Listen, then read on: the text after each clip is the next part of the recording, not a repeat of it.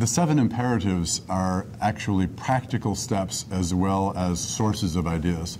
The first imperative is to understand the vision and values of the family.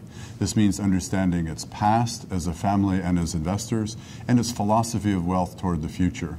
So the first step is understanding the point of departure, if you would, what the family believe and what they what they're looking to looking to accomplish over the longer term.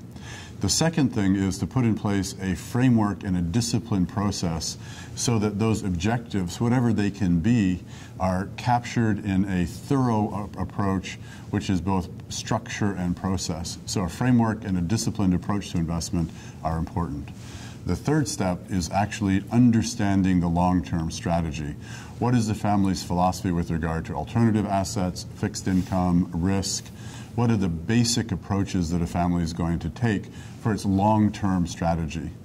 The fourth step is then to capture that long-term strategy in an immediate set of action steps. And, and that's an investment policy statement, which is an annual plan with very specific asset allocations, selections of, of managers and investments, reasons for the approach to risk management, an understanding of the likely economic context, and a translation of the first step of vision and values through the second step, a framework and disciplined investment process, through the third step, which is the long-term strategy development captured in a long-term strategy document, into that practical action plan, the investment policy statement, which is specific to one year and guides the actions and tactics in the market of a family in that fourth of the total of seven steps in, in our process. Imperative number five recognizes that things do not always go according to plan.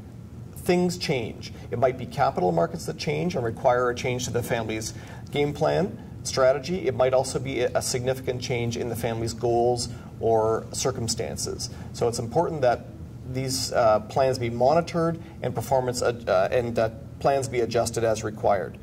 Uh, the sixth imperative is advisors, the very, very important role of gathering around the family a group of trusted advisors, some with very specialized skills, some with very general purpose skills, but the common element is trust and expertise. And the seventh imperative is the whole idea of transition, engaging and educating the next generations of family. And that involves family governance, that involves financial literacy, it involves education, it involves a distribution strategy to the family, to the next generations of the family. But all of this is not just for the current generation, but for the next generations uh, in the future. And so these are the seven imperatives that lead to successful family wealth management.